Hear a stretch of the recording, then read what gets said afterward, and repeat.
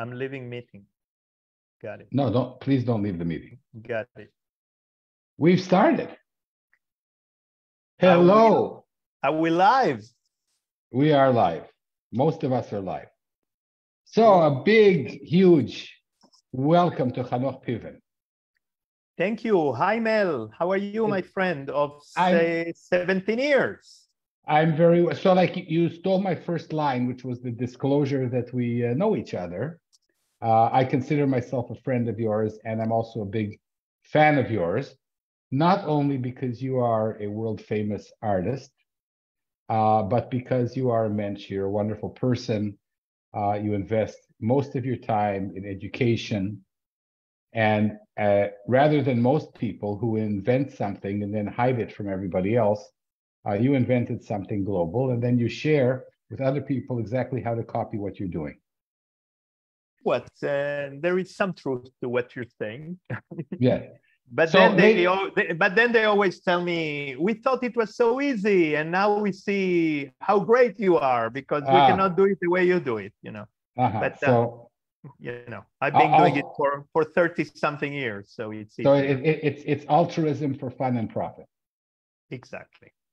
But I have to introduce the show.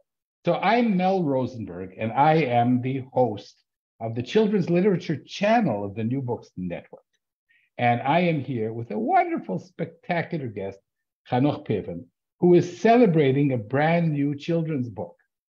It's not enough you're world famous, a um, dream big and laugh often, and more great advice from the Bible, Hanoch Piven, and Shira Hecht Koller. Yes. So this book just came out two months ago. Yeah, it's uh, it's really new. It came out in, uh, of course, in United States, and um, it um, it will be published in Hebrew next year uh, by Otzat Schocken, by Schocken Books here. Um, and um, what do you want to know about the book? I'll, I'll answer No, I, if I, you have a I, question. I, I want to know. It's not enough that your um, iconoclastic work, um, your a collage artistry, your portraits have appeared in Time magazine on the cover of Newsweek, and so many other a, um, a- important magazines. You had to mosey into children's literature too. You couldn't leave something tiny for other people. You also had to become a world famous children's writer. Well, um, okay. For starters, my first book for children came was published in 2001. So way before I think you published a, a, book for children, right? Uh, No, I mean, no, it's- no, it's- but okay. it- it- the program Okay, isn't the- about but the- me though. Okay, And I- no, no, I- but I the point, the point, the point I'm trying to make is that it's not a new thing for me.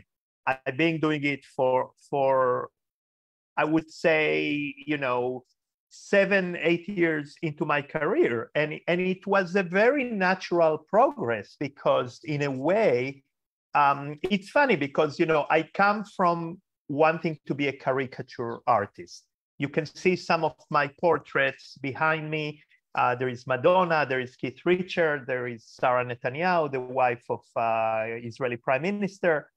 Um, my DNA was of a caricature artist, wanting to um, make faces, draw faces. Um, but um, I developed into that um, into the idea of using objects, everyday objects, because I cannot draw very well, as I've mentioned to you many times. And, um, and, and I discovered a very playful way to create. So um, for the first six, seven years of my career, my work was published in, in serious mag- in magazines, Time, Newsweek, and Israel Haaretz, and people were telling me at the beginning, well, your work should be for children. And I was like, no way, I'm a serious artist. My work is for adults. And um, you know, the children will not get the, the, the subtleties of the of the meaning of the objects. And then they will tell me, well, it doesn't matter if a kid sees a, a, a, a, man with a banana nose. So even if they don't know it is Woody Allen, they would laugh at the idea that there is a banana nose. So, so I failed to see at the beginning how much my work was really for children. Um, so once I realized that, I, I embraced it, and um, and this is, I think, my eighth or ninth or tenth book in that comes out in United States. Um, as, for, as far as I'm counting, it's number eight, but we we might be wrong. Okay, yeah, I mean, I had the perfect purple feather and uh, the scary show of Joe and Mo, Mo and Joe, and uh, what I mean, the more the, the most successful books that I had were the ones that were somewhat related to education, to the school system. What presidents are made of, uh, a book about American presidents, was immediately um, taken by libraries, by, by school teachers, by elementary school teachers, um, and, and it became uh, quite a successful book, uh, which gave me for, for a long time uh, royalties. Um, and then the surprising other book, um, and, and I have to say that first book was uh, by Atheneum um, Simon Schuster, uh, edited by um, it, edited by uh, Annie Kelly, who was a young editor at the time, um, and um, and eventually she moved to Random House to Schwartz and Wade books, and they she offered me to do a book together, and we came up. She really pushed it. Uh, we came up with a book called "My Dog Is as Smelly as Dirty Socks," and that book became really, that book is still selling very well. Why? Because the whole book is made um, with the idea my uh, my dog is as smelly as uh, my mother is as soft as uh, as uh, wool, as sweet as a cookie, as smart as a light bulb. And teachers in elementary school love this book because they use it to teach similes and metaphors for children in early writing.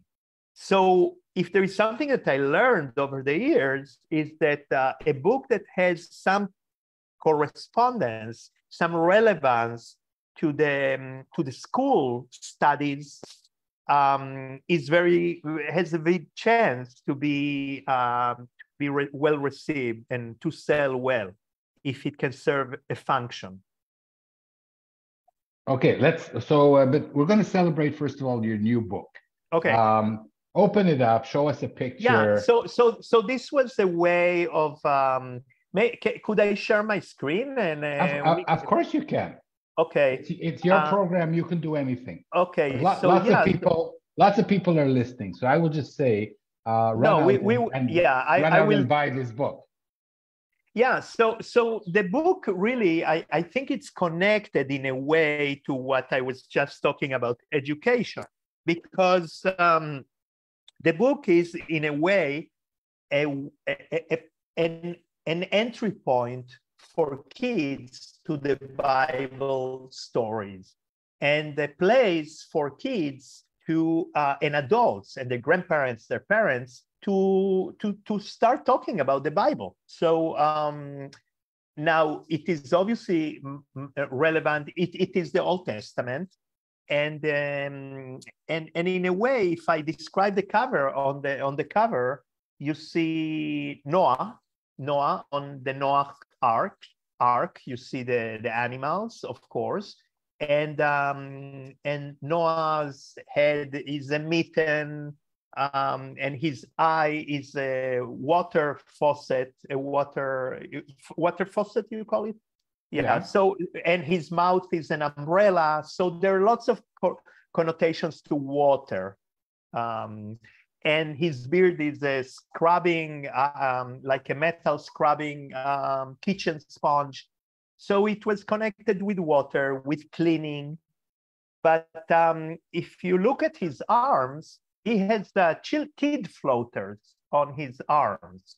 And, um, and for me, this is symbolic because it is a way of bringing those big names into the kids' world by making them those uh, celebrated characters from the Bible, by putting um, very, first of all, by making them out of toys, household elements, it brings them down to, in a way, to our level, to our life. Um, but also the idea that Noah has uh, like a kid floaters on his arm. Um, really, I think it's a way to to for the kid to relate to it.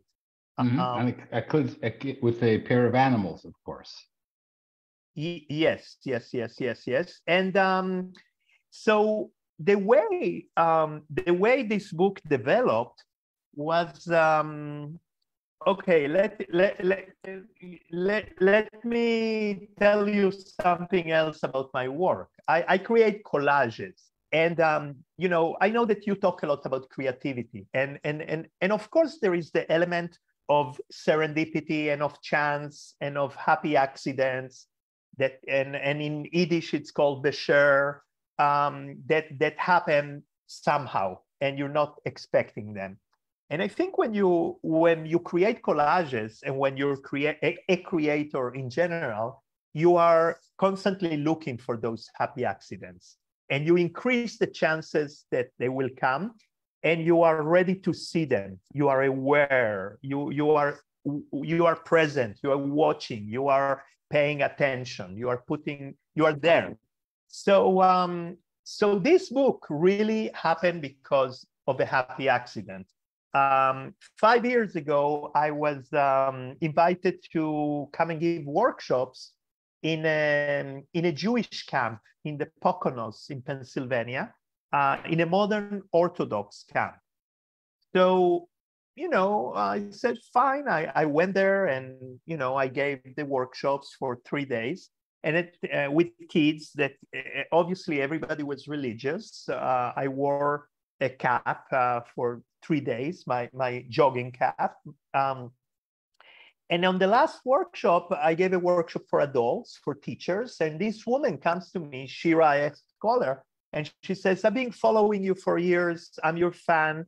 Um, let's do a book together about the Bible." And I said, ho, ho, ho, I know, no, you know, since high school, I haven't done any, you know, I haven't studied anything about the Bible. But um, she said, I'll teach you. Let's study the Bible together. And we started to read some stories. And, um, and then I said, okay, but, you know, I, I don't really subscribe to the whole idea of, uh, you know, God, uh, I, I, actually don't really like the way God is portrayed in the Bible.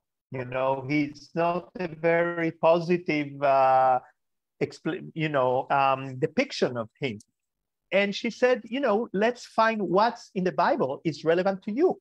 And I said, okay, let's see how we can connect the Bible to educational stories, to stories that kids can relate to nowadays. So I asked her, okay, let's see for example, Eve. What is the essence of the Eve story? Because, you know, traditionally we talk about the story of Eve as a story of temptation, of sin, of, um, of something negative. You know, um, Eve failed in the test. But, and she said, well, you know what? You could also say that the story of Eve is the story of curiosity, of wanting to know, and I said, you know what?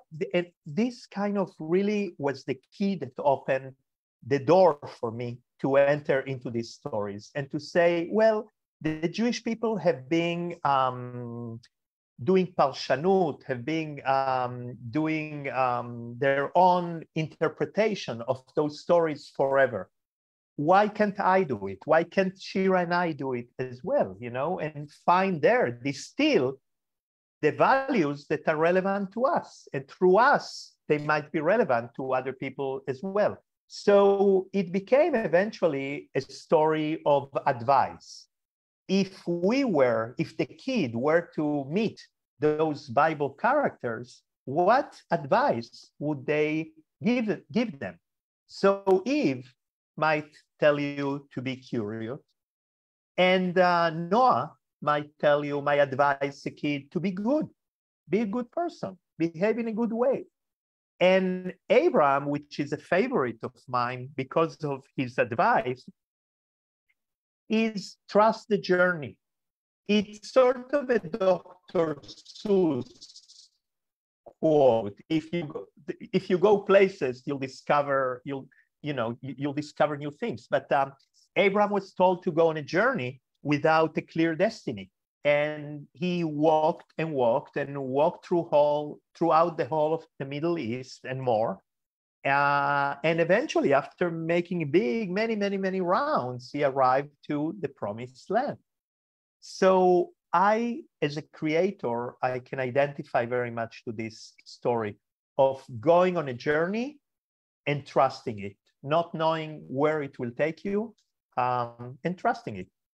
So, uh, Hanoch, I wanted to ask you here in this uh, picture.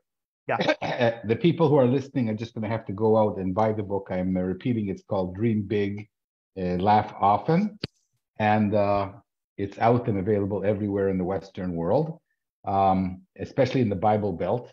I'm joking. no, in um, Amazon. And, and, and, yeah, and, and and here you have like a, a picture of the globe made out of jigsaw uh, piece puzzles. Right, right. It's Abraham. It's uh, it's Abraham, and he is going to uh, a place that he still doesn't have shape. So it's made out of jigsaw puzzle. Mm-hmm. Um, and his but, his body his body is a um is a um, collector's item. It's a uh, it's, it's a, an uh, envelope. It's postcard. a letter. Yeah, postcard. Envelope. Yeah, with yeah, and and in a way, and and he's carrying um, a suitcase mm-hmm. with um, travelers stickers. You know, like uh, yeah. I've been to London, I've been to Paris, and I've been um, I, have been to Ur Kasdim Yeah, to Ur Kasdim exactly. And there is a camel uh, carrying a container. Um, you, you know, so there is nonsense in my work. I, I, I use the nonsense for the kids to laugh, to discover, to say, well, this doesn't make sense that uh, he will be carrying a suitcase with stickers of Paris, you know, and that the camel will be carrying a container um, from a toy truck. Um, but um, but also his nose is a dreidel with a hey, the, the Hebrew letter hey, which was the letter that was added to the name Abraham. It's a letter that represents God in, in Hebrew. So this is also an entry point to the story. This is something that there is nonsense, but there is a place that the teacher and the kid or the grandparent or the parent and the kid can look together and then it can, the kid, the parent can tell the story of the hay that was added to Abraham, Abraham's name. So, so, so this, this book is like a, um, a jigsaw puzzle in its own right. You can, uh, you can look at it and look for clues uh, and what you, uh, what you were meaning to do when you added all of these uh, bric-a-bracs and little toys and uh, yeah um totally. they're, they're, we're looking at sarah so yeah. so yeah there are two sides to the book that, that can have independent independent lives i mean one um, shira and i came up with those um, um, those values those advices and we um, we wrote the text together with with help of a wonderful writer Naomi Schulman. Schulman. Mm-hmm. Mm-hmm. Um, but um, but the illustrations are my own crazy world in which um, you, you, know, for example, we're looking at Sarah, Sarah, Sarah, uh, Abraham's wife, and she's laughing, and uh, and actually her advice is, uh, you know, it's okay to laugh and to giggle when you don't know what to answer which is uh, what she did when uh, three angels, uh, three visitors told her she was going to be a mom at 85 or how, however old she was. Um, but, um, you know, I had fun putting chattering teeth as her eyes and um and you know making the no you, you know and the three angel the three visitors one is a robot the other one is a waiter and the other one is uh, God knows what he is, you know, the yellow green one on the right. Uh, so for, for teachers teaching this in class, do you have like a handbook of uh, of uh, Hanoch's uh, icons here and uh, No, but uh, I would say, um, okay, for starters, the book is given out by uh, PJ Library in uh, mm-hmm. United States. It has been handed out this month uh, to, I, th- I think, fourth graders. Uh, I think they handed out like 60,000 books. So the, the, the PJ Library version uh, definitely comes with an educational guide I have to say that over the years, I learned so much from teachers that um, that this that, that taught me how to use uh, my work um, educationally because they send me the projects that they do. Um, and I'll show you, I can show you some uh, soon. Um, okay. We're looking. Hanoch, I, this show is also about you and your journey. Yes. So uh, I'm going to ask you to stop sharing the screen for a minute, and everybody is going to uh, is going to run out and buy your book. If you show everybody the book, they're not going to buy it. Um, so I want to get back to the book, but I want to start out with you because in these interviews we also look at the journey of the uh, of the illustrators, authors, the people who actually create this. And uh, um, but before I do, so you are a creator here. Um, are, are you playing God? You know, you're you're you're giving these um, these biblical characters faces and personalities. Um, and the word create in English is something that humans do and also God does, not right. in Hebrew, not in Hebrew. Right. So so you're also um, teaching kids that it's okay to to create their own Bible figures. Well, it's okay. Uh, you know, I like to say, and um, and this became very, very clear during COVID. But I like to say in general um, uh, to kids, what happened is that during COVID we were all kids. Kids don't have control over what happens in the big world.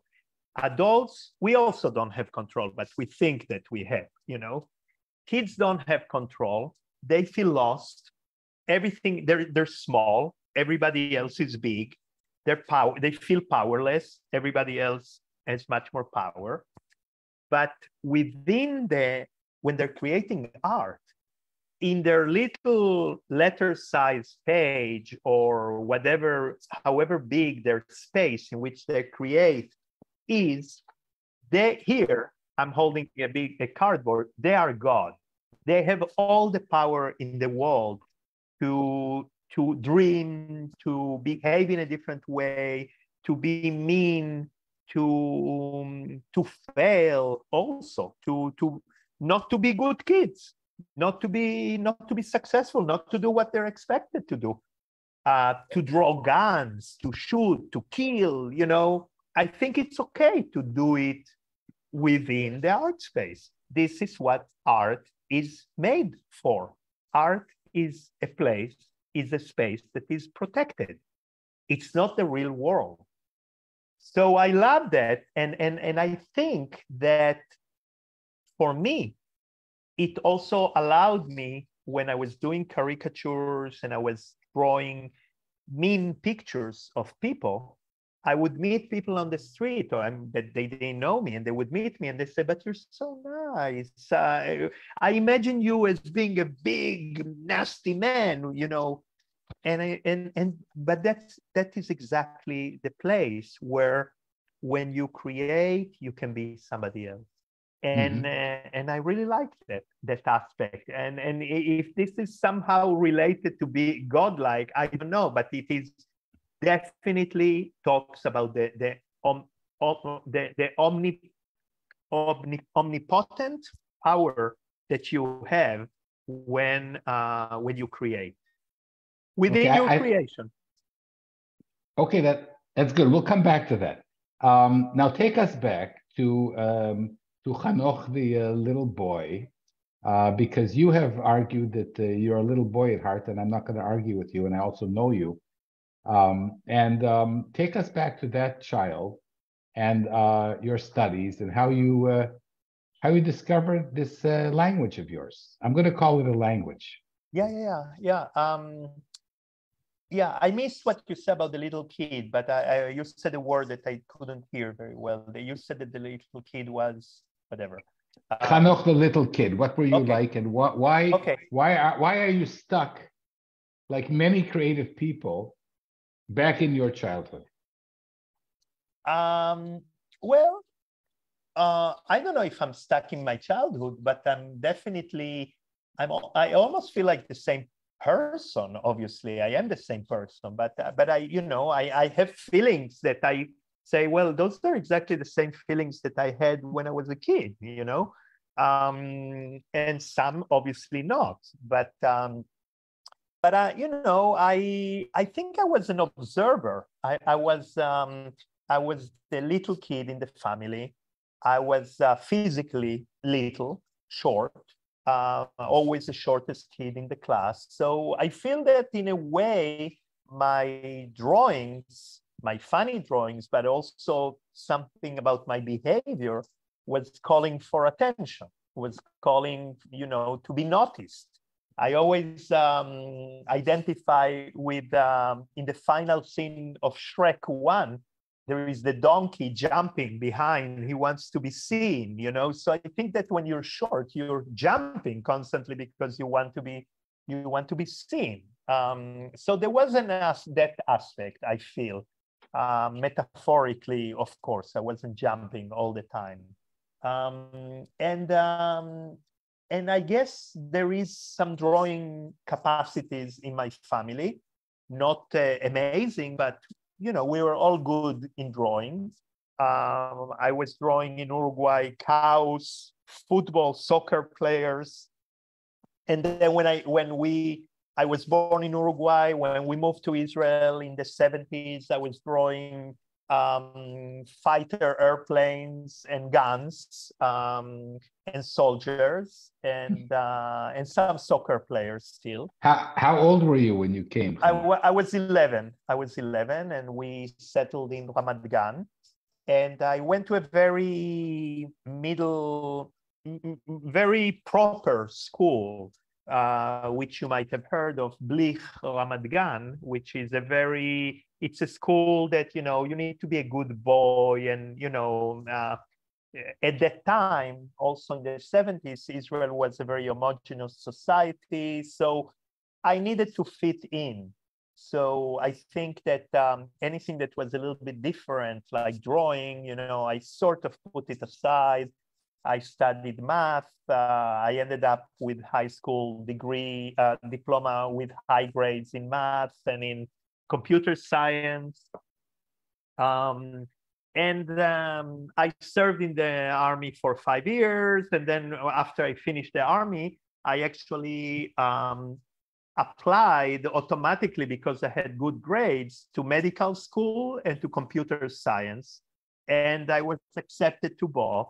And um, and a week before medical school started, I said, you know, why am I doing this? That's not what you know. That's not what I want to do. So I'm just doing it because you know I have good grades and I want to fit in and I want to do what I'm expected to do because I'm a good boy. Where where and were you accept where were you accepted to study medicine? In Jerusalem, in Jerusalem in 1987. Because uh, had you been accepted in, had you had you been accepted in Tel Aviv, I would have been your teacher, you see. Oh, okay. Whoa, whoa, whoa, whoa. But at the at the last minute you said this is not the, I, this is this is not the Hanoch Piven I know. Well, I mean, I kind of, you know, I, I, I wasn't that smart. I, I, I only somehow I was intuitive. Uh, I was, I listened to my intuition enough to say, uh, this is not the right for me. And maybe only then, at the age of 22, I was, or 23, I was strong enough. Um, as a new immigrant, you know, I, I was already strong enough to listen to my own gut and then uh, I studied for one year um, computer science in Jerusalem. Uh, we have some common friends that studied at that time uh, with me.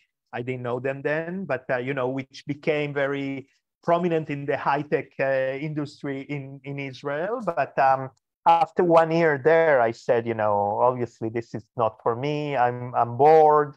And uh, during that year, I said I, I really want to go back to my um, my love of drawing, my love of uh, illustrating caricatures.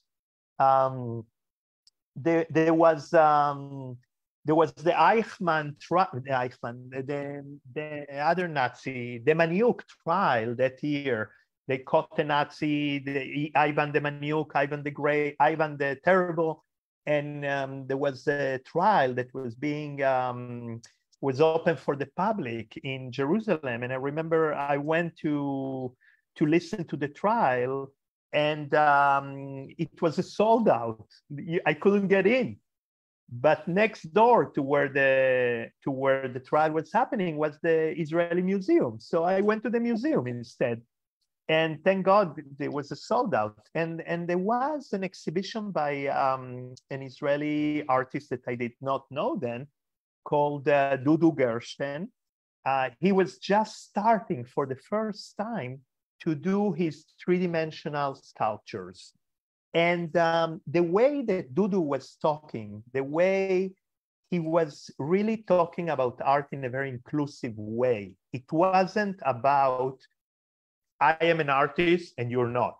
I know and you don't. I am touched by God and you're not. Which, you know, is what I thought, what I've heard before.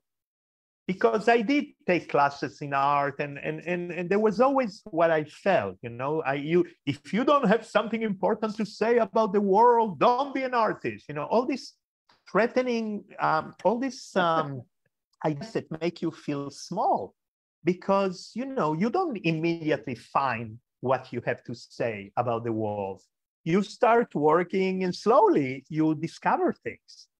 And Dudu was talking about playfulness. He was approachable. I mean, I, I just saw a video with him. And then I went back to my apartment and I found out in the in the in the phone book his address. And I wrote him a little postcard, a gluya. And I said, I saw your show. I am studying computer science, but I want to be an, uh, an illustrator like you um, could I come and meet you? And he called me the next day um, to my apartment. There wasn't, there weren't cell phones then. And he said, come over to the studio. And I went to the studio and, and he really showed me his work and we talked a lot and he gave me advice and um and i have to say and you know and and i've met dudu many times since and and um, he really opened the door for me in a very deep way.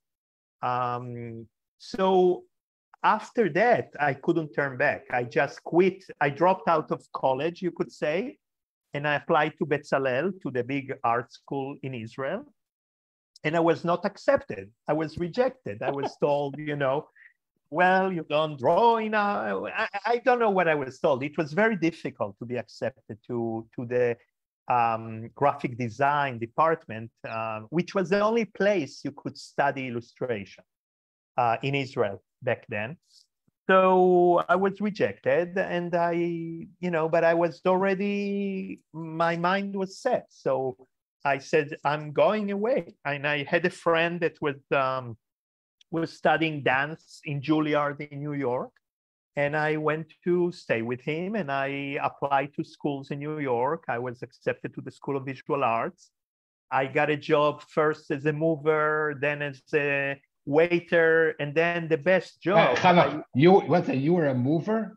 I was a mover. Yeah, I, I was for half a year. I moved furniture in New York and drove a truck and uh, and then I uh, I got the best possible job. I got a security job at um, at one of the Israeli government uh, delegations in Manhattan, and um, but my security job was uh, so that I could not guard people. I could only guard an empty space.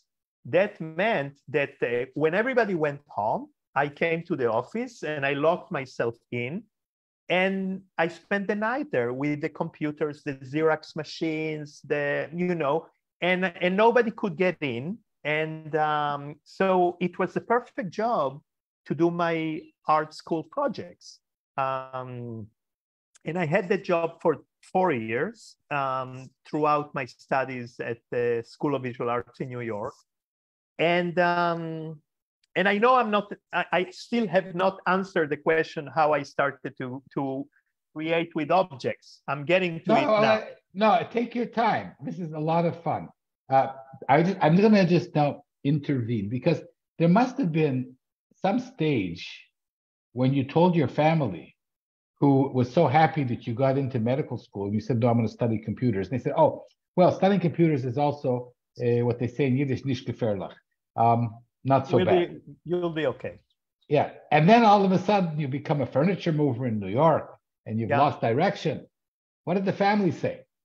Yeah, you, you know, I have to thank my my parents. Um, you know, they were they were kind of um, a bit confused and lost uh, with what I was doing, but um, you know, I, I, I do have a very supportive uh, family, and and I guess also at that point they trusted me somehow, and um, and um, you know, again, um, it's a family of immigrants, and um, you you you you know they they were happy to be here. Um, you know, I, I, I love my parents and, and I'm very grateful of what they, they did. They always uh, were supportive. Uh, but, but of course, I had my own pressure being uh, in my 20s. And, you know, I had my own set of high expectations um, because I met lots of um, successful people around me um, that, you know, that you know, I, obviously it put pressure on me as well. And um, so you also I, wanted to you wanted to jump up and down like the donkey in Shrek. Yeah, and I was determined. I was determined. I, I think um, what Israel, what um, you know, I, I came to Israel at the age 11, and I left Israel at the age of 24, and I came back here 10 years later. So from 11 to 24, I lived here in Israel, and um, and I think Israel gave me gave me a lot of chutzpah, a lot of uh, somehow I came out of the army feeling more confident, and um, you, you know, so when I went to New York, I had the Israeli chutzpah combined. Then I realized with some very strong South American side that was more maybe lyrical, playful, um, so I, I started the art school. I started drawing illustrations. And uh, lo and behold, I discovered that uh, I suck. I'm not very good. that, uh, you know, all these years that I was doing other stuff, I did not train my hand. Uh, I had a long way to go. Next to me were kids that were younger than me, but they were masterful with the pencil and masterful with the pen and ink. And all around, I saw people that were much better than me technically. They were not necessarily, they didn't have necessarily a better sense of humor. Maybe they were not, um, you know, maybe I had some better ideas, but when it came to execution, I was really not very good. There was, a, I, I had a better eye and a better head than my hand. My hand was an obstacle in a way, I could say. And um, so I, because there was all this pressure to succeed uh, or to, to be able to make a living, I said, okay, I'll, I'll move out of the illustration and cartooning department to the graphic design department. That's a job. I'll have a studio and everybody will be will be I'll, I'll i'll be able to make some kind of a living and doing that really um, liberated me from uh, the pressure the technical pressure. And um, and i started to even though i was studying graphic design typography composition i was studying other things that really opened my mind. And I always recommend uh, when I meet art school or, or, anybody, but when I go to an art school, I always recommend uh, kids to take as many different classes as possible in different areas photography can teach you a lot, typography can teach you a lot. I took a class in playwriting. I took a class in, uh, I don't know, in American history uh, in the 60s, sort of what you teach. Um, and um, and there somehow I came to discover um, Eastern European collages, Eastern European posters, and uh, all those Romanians and Polish that were very surrealistic in their creations. And uh, and they um, you know the most famous one of course is Saul Steinberg that was a Romanian born artist that uh, through after some years in Paris came to America. And he's sort of the grandparent the, the, the founding fa- fa- uh, father of um, of modern American illustration. Uh, everybody knows his New Yorker covers the New York map the famous New York map that he made. Um, but um, I started to take uh, cartoon uh, caricature classes again, just as a minor for the fun. And there, one time I I was drawing Saddam Hussein, and I during the first Gulf War, and um, I uh, didn't know how to make his mustache, and uh, I saw a box of matches, and I said, "Okay, I'll use the matches." No, I think is this true? Is this true? I've heard you say this uh, on several yeah. occasions. This is a true story. Uh, you know what? I don't remember. who cares? No, no. I mean, it's a good cares? story. I mean, it's a it's a great it's a story. Great, great it's story. a great story. Yeah. I mean, I, I, I no, I, I, there is a obviously those matches were somehow next to my illustration because I I saw them and uh, I was living then with a girlfriend that was a heavy smoker, so there were matches all around us.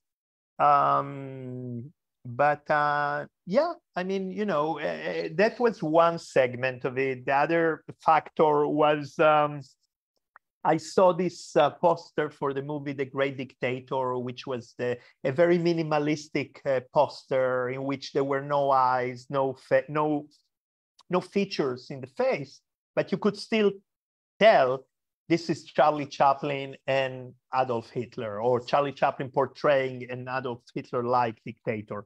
Um, and um, so all this came together, the idea that sometimes you don't have to show all the features in order to make somebody recognizable. Sometimes you don't have to draw if you find a way to communicate and this was a light bulb that that that really op- opened up because I realized that I could hide the idea that I don't draw very well because uh, now why is this so, so I realized that you know that I can draw by moving objects around the space because when you move two objects you create shapes. You create the shape that the two of them make you create the shape that is around them. You create the shape that is between them. The negative shape is a shape also. So you are drawing. It's just a different definition of drawing. Drawing is not necessarily making a line. Drawing is creating shapes, defining shapes. Um, so this connects to what we are talking before about kids that you know suddenly this system that was developed by me to overcome my own um, for lack of a better word shortcomings um, was really um, a tool that eliminated the technique barrier so in a way, in the same way that I eliminated for myself, I realized that I could eliminate it. I could take it away for other people too. And then everybody with toys, with objects in collage uh, could have the experience of creating art, the experience of telling something, because the purpose of uh, in my book the purpose of creating art is really to tell a story, to tell something. Absolutely. Absolutely. And um, so this is now uh, several decades. You, you're also one of the pioneers of uh, using a, I would say, uh, like a, a, a early kind of artificial artificial intelligence to develop apps where people can actually try and be Hanoch Piven. Um, and I've, I've I've tried to be Hanoch Piven. I've taken your uh, your uh, your uh, classes. Faces I make, yeah. Yeah, and I and I I made a self portrait, and it was um, amazing. Somewhere, okay. It, it, was it was amazingly terrible. Uh, so it's got all the elements, you know, it's got Mel the musician and so on, but um, it doesn't have the composition. So uh, actually, you're doing something safe because you can teach the whole world to be Hanoch Piven, but the only person who's going to be Hanoch Piven is you. So now I, I well, just I just I, I, just figured out your secret. It's a it's it's a great idea, right? You tell everybody, come on and be Hanoch Piven, but you know that nobody's ever going to be you. That's great. Yeah, well, it it, it, it sounds uh, it's it's partly true, I would say, but uh, I would say that um, I and and and this is something that I tell always. The idea that um, basically this is when I conduct a workshop, I say immediately, this is not mainly an art workshop. This is a communication workshop. Art is only the means that we will use to communicate. To communicate in two ways, to communicate one with the other. We will be creating next to another one maybe we're creating together maybe we will be showing each other our creations. But more important than that to communicate inwards each person will communicate inwards when you're making something you you are in an inner dialogue and most so, people most people will not uh, do if you bring them a pen a brush a pencil and you tell them draw they will immediately go to their last failed um, experience, which is in when they were eight, nine, seven, when they drew a person and the leg came out of the head and they realized that they don't know how to draw. They decided that they don't know how to draw and they stopped drawing. And the idea of drawing or of creating art for most people is connected with a with a um, primal experience of failure. So I, once they, they do something with objects and they immediately see that, that something happens and they see it, then they have a sense of, um, of um, success. Even if they just create a, a happy face and then they make it sad. But then when you add the idea that objects have meaning, that you can tell something about yourself by representing your mouth with candy or representing it with sour lemon or representing it with nails um, or representing it with um, with a, a ruler whatever once you finish your creation and there is mel the musician and there is mel the teacher and there is mel connected with smells and uh, so so you um your creation and and again i don't know um, your experience you know i i, I don't want to undermine your own experience but um what I, for the most part people feel happy with what what they created ah i i was delighted by the Not, process and, by by by and, the and, fun right the fun but also they feel happy content and satisfied. And I asked them in a funny way, I asked them, do you think, are you happy with your creation? Yeah. And I said, do you think you, your creation, are you happy because your creation could be hanged tomorrow at the Louvre, uh, at the Museum of Modern Art? And I said, nah, no. I mean, they always say, yes, of course, but you know, but they said, no. So why are you happy with it? Because I made it, because it represents me, but most and what what it means really in a deeper way they're happy because it has meaning to them they manage to distill something that is meaningful to them and represent it. And then other people saw it and other people saw them. And going back to being kids, what do we want most of all? We want to be seen. We want to be noticed. We want to be acknowledged. And um, when somebody makes a picture and he shows it, she shows it, and other people say, great. And other people maybe they might recognize, oh, you put the nose because they. So people are seen. So I think this is the really the the the, the reason why I am in education, why I'm teaching, why I'm why I'm show. Uh, uh, uh, um, obviously, it is um, you know it is a way of um, of bringing food to the table of my family. But um, but I cannot even start telling you how happy it this road makes me. Um, I don't feel like it it's work necessarily because why, I, why, I, why should it be work if you love it so No. much? yeah yeah yeah uh, i basically um, help people uh, tell their story and and feel happy about it and play and you know for some people this will be the only time they do it for some other people they will come back to me later and say you know you opened my eye to something other people will say you know since your workshop i've been doing it more you know i i took it you know so um I, I, so it's, a, it's think a very I, satisfying experience I, I'm a bad example, and I'll tell you why. I'm a bad example because I get to know the, the real thing, which is you.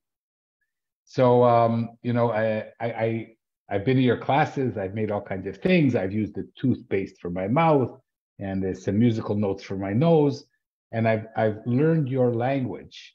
But um, because I, I, I'm also lucky that Yossi Vardi introduced us and I actually get to know Chanoch Piven, the creator. Um, it, you, you, you, um, you know, you, you're much bigger than your art, and your art is universal. And um, and you're one of the people that, that I've met who, who's taken, who's created a language. You know, I, it, it, it appears simple.